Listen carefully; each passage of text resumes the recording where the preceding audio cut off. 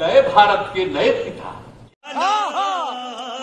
क्या किए हैं भारत के लिए? मित्रों मैं बचपन में रेल के डिब्बे में चाय बेचता था। और आज रेलवे बेच दो। भारत पेट्रोलियम बेच दो। शिपिंग कॉरपोरेशन ऑफ़ इंडिया बेच दो। कंटेनर कॉरपोरेशन बेच दो। एयर इंडिया बेच दो।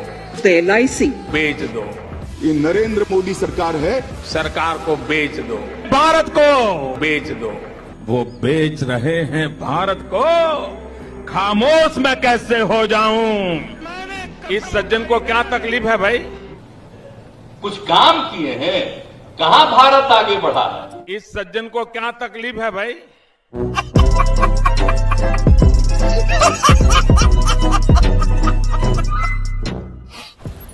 दोस्तों, बिहार के मुख्यमंत्री नीतीश कुमार का एक बयान सोशल मीडिया पर जमकर वायरल हो रहा है, जिसमें वह पीएम मोदी पर तंज कसते हुए नज़र आ रहे हैं। उनका कहना है कि भारत के नए राष्ट्रपिता ने देश के लिए क्या किया है। उन्होंने भारत के लिए कुछ काम किया है।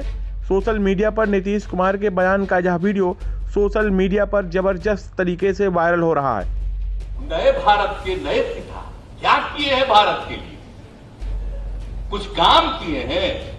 कहा भारत आगे बढ़ा? है बिहार के मुख्यमंत्री नीतीश कुमार ने कहा कि अब राष्ट्रपिता को छोड़िए, नए राष्ट्रपिता आ गए हैं। नए भारत के नए पिता, क्या किए हैं देश के लिए? कहाँ भारत आगे बढ़ा है, कौन सा काम हुआ है?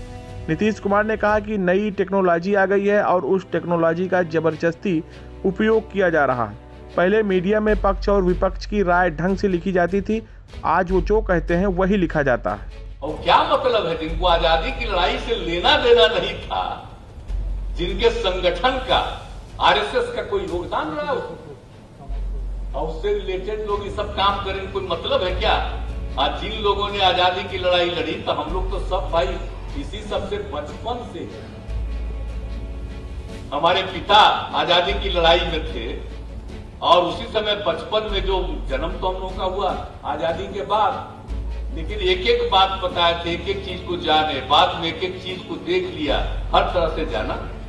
तो कभी जो बापू का योगदान है, उसको हम लोग कभी भूल सकते हैं? आप जान लीजिए कुछ लोगों को रोज देख रहे थे ना मीटिंग में राष्ट्रपिता तो ये वो कौन बोली? सुने ना थे अखबार में जो छपा, कि अब राष्ट्रपिता छोड़ दीजिए, नए पिता कोई राष्ट्र के हो जाए। आप जरा सोच लीजिए। नए भारत के नए पिता। क्या किए हैं भारत